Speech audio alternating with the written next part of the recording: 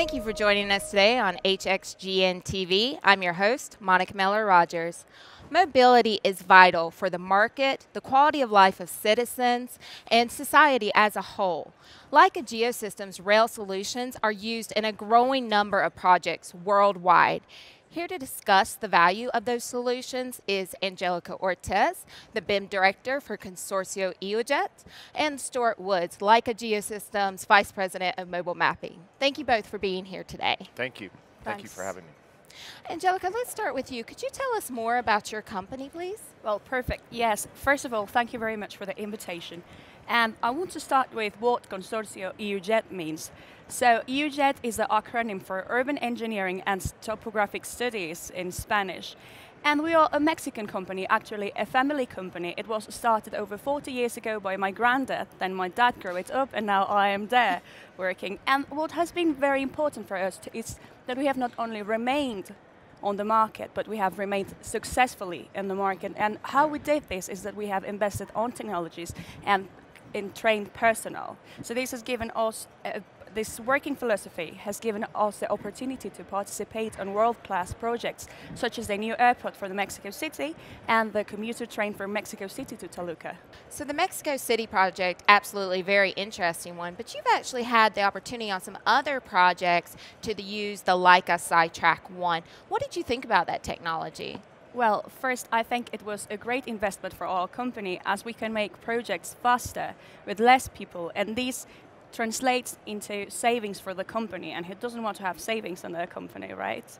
The information that you can get from it is absolutely astonishing, and it, that was said by our clients. Every time they see a project that we did with the SiTrack, they just love it.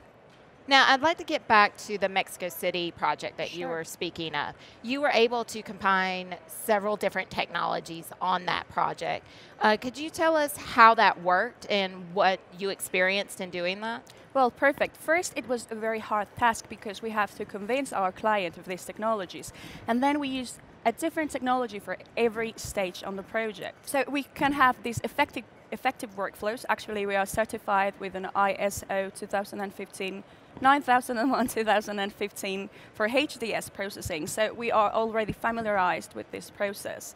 And we can work on several Leica technologies and the software, and this has been great for us and for our clients. We can get better results, better quality information, and in a shorter period of time.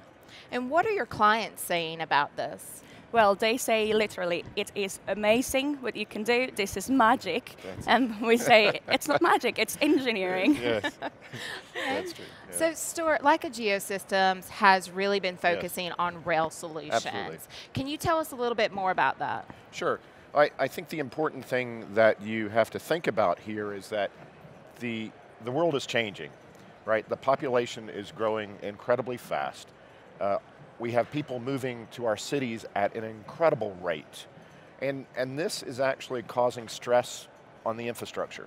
And so this question of mo mobility and, and enabling people in cities to move the way they want to move so they can work and, and take care of their family is really what is starting to see the stress on the rail environment. And so what we're trying to do is enable the cities and the infrastructure to continue to keep up with those types of changes.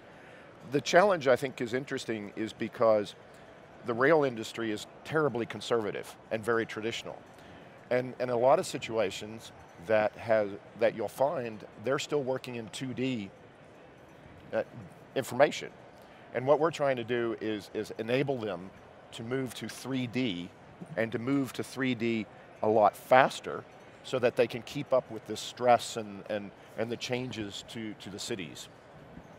And what do you think moving to 3D over this traditional 2D nature of the rail industry, how is that going to benefit not sure. only the industry, but also the citizens that depend on well, these solutions? It, it's really quite interesting because what it really comes down to is, is there are lots of different measurements that have traditionally been done in the rail industry.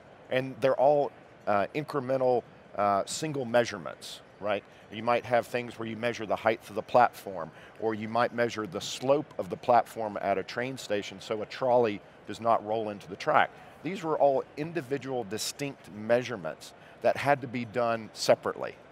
And so what we're bringing by capturing everything into 3D, we're enabling the capacity to, to see all those different distinct measurements as one single measurement. And that's, that's never been done before. I mean, even if you look at the other products on the market, they're still stop and start, incremental processes, and they're not addressing the full continuous capture concept. Let me open this question, this next question up to both of you. Now, mm-hmm. we've been talking a lot about innovations in the rail industry. Where do you think that's going to take this industry in the future? Ladies first. yes, please. okay, right. So I think that, as Stuart said, projects are based on information, and the better information you can get, the better decisions you're going to make. So definitely I can see that with this information, with better information, with a lot of, qu of, quality and accuracy on the information, we can make better projects. So this will make projects faster, cleaner, and of course better and more helpful to people. Stuart? Yeah, so I'm, I'm quite fascinated by the fact that the world is constantly changing. I mean, even if you take Mexico City, it's, it's basically a lake bed in yes. parts, right? And so what that means is, is the earth itself is, is moving and changing. And the way I see this progressing, because we're making it and enabling the ability to capture quicker and faster, the, the difference between survey and engineering and monitoring and then real-time monitoring now is within the grasp of what we can achieve. So now IUYET can move from not only being a survey company, but a monitoring company. So the, out, the types of services that now we enable them with that single product and that single solution, now allow them to sort of monitor Mexico City's rail network as environmental changes happen, as you have rain at certain parts of the year, it, it just opens a completely different um, set of services, but it's also important because these services are those that impact the mobility of the people and using that, that rail network.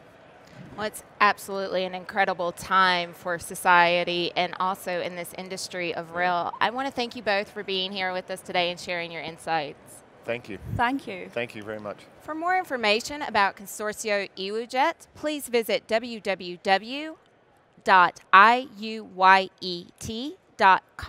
www.iuyet.com.mx. For more information about the rail solutions of Leica Geosystems, please visit leica-geosystems.com. To watch more episodes here on HXGN TV, tune in to hxgntv.com. Thank you for watching.